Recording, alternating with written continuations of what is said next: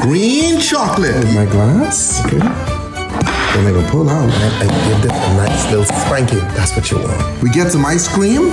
In our container. Ah, chocolate vodka. White chocolate liqueur. Creme de menthe. This is a mint flavor, okay?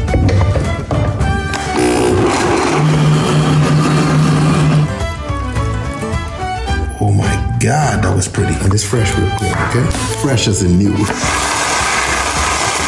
A green straw, some St. Patrick's Day Lucky Charms. My boy, easy squeeze jello, okay? You send these over. And there you have it, the St. Patrick's Day boozy milkshake, okay? With Lucky Charms on, boy. Have fun this St. Patrick's Day, okay? Let